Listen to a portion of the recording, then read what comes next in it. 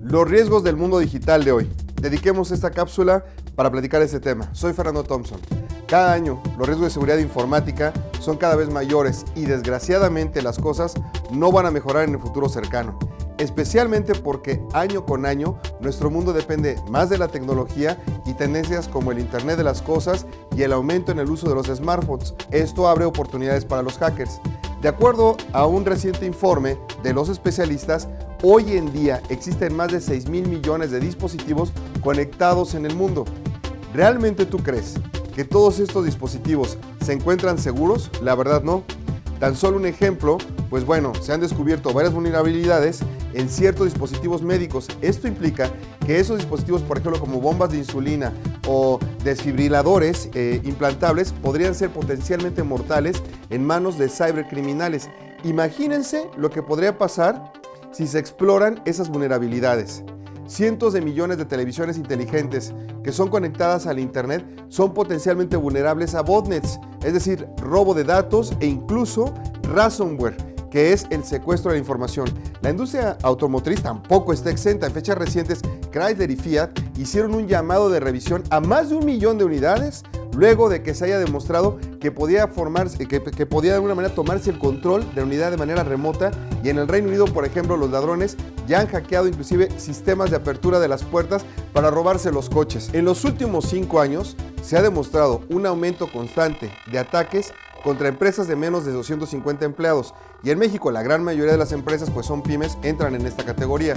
Durante este año 2016 también vimos un aumento del 35% en el ransomware, que es el secuestro de la computadora. Los cibercriminales utilizan el cifrado como un arma para retener datos críticos de las empresas y literalmente pedir el rescate por esos datos. Desgraciadamente la gran mayoría de los negocios en México ni siquiera están conscientes de estos riesgos.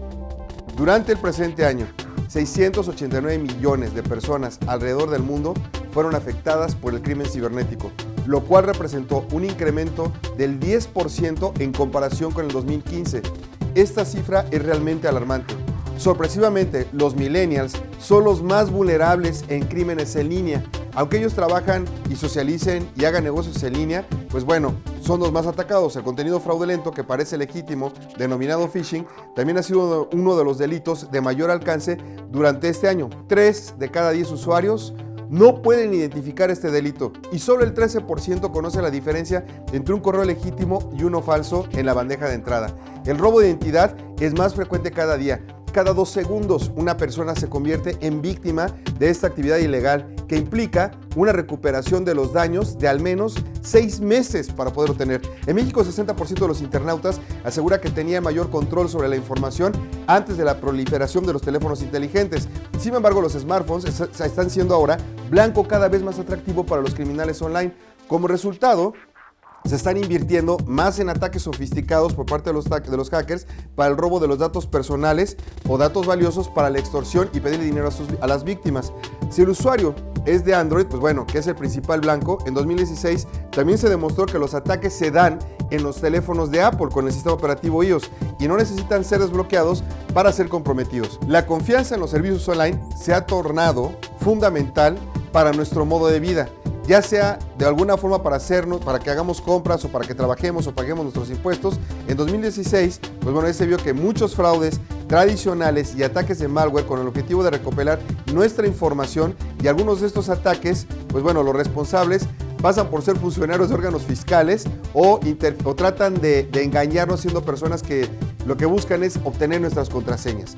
La extorsión sexual online ha ocurrido durante años y los ejemplos más recientes, particularmente eh, que prevalecen en, Asia, se han enfocado en los aplicativos maliciosos y Android pues no escapa de estos. Estos cibercriminales usan un avatar o perfil de una imagen atractiva y buscan que la, víctima comparta videos sexualmente explícitos de ella.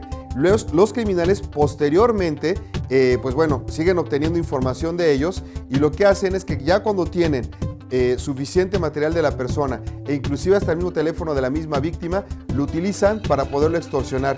Ya con el video eh, y en una lista de amigos o familiares, lo que hacen ellos o lo que te van a decir es de que lo van a empezar a enviar y pues bueno, de alguna manera lo que, lo que quieren las personas es evitarlo y pues bueno, se pagan eh, estos, estos secuestros. Es muy importante que como padres hablemos con nuestros hijos acerca de estos riesgos. 2016 sí representó un verdadero reto para la seguridad informática y desgraciadamente 2017 nos vamos a enfrentar con nuevos retos. La responsabilidad no solamente es de las empresas, gobierno o de las instituciones, sino también depende de cada uno de nosotros.